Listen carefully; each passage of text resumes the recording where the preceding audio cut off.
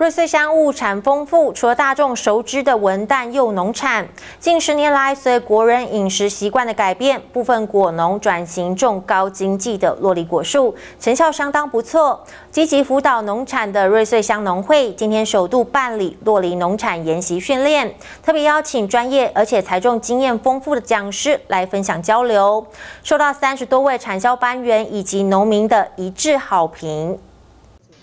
随着瑞穗乡洛梨栽种面积逐年攀升，为了辅导地方农产，瑞穗乡农会邀请兆丰农场洛梨栽种达人钟老师开办讲习训练课程，分享交流经验。台下洛梨农认真听讲，也不时的提问，学习互动热络。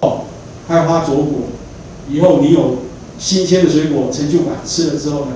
它的种子你自己可以拿来疫苗，练习加接，然后更新你的。品种符合市场的需求。在种洛梨果树十多年的产销班长张建立，在种面积不大，最初自行摸索也吃了很多闷亏。所幸农会主动出击，积极介入辅导，让瑞士乡的洛梨产业蓬勃发展。现在也比照文旦柚农产一样，请专业达人开办讲学训练，高度肯定。现在因为文旦的种植面积已经，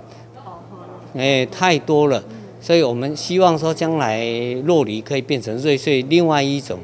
啊比较，就是高经济的一个一个产业，哦啊，所以农会在这边就他请农改场，哦，或者是请比较有经验的这个种洛梨的专家来给我们指导，啊，希望我们瑞穗的洛梨呢，也可以像嘉义竹崎这样啊，能够把它的那个呃管理好，产量可以提高，啊，增加农民的收入。以文旦柚为大宗的鹤冈部落地区，现在也有将近五六位的部落农民开始尝试种植洛梨，尤其选种的洛梨品种和南部产期错开，因此部落族人对于洛梨产销上深具信心，也希望借由研习训练提升产销生产技术。刚听到教授这样讲，瑞穗很适合种洛梨，因为土质的关系哈，所以。也许过过了一段时间，好多好多的乡亲会会陆陆续续去种栽这样的一个高高价值的。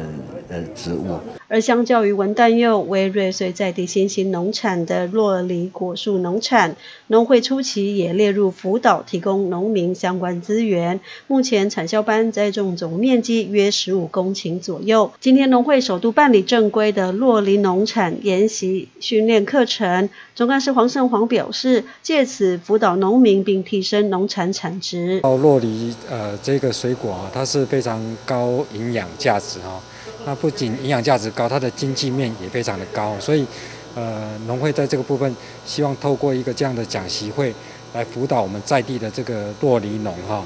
呃，可以好好的来栽培我们的这个洛洛梨。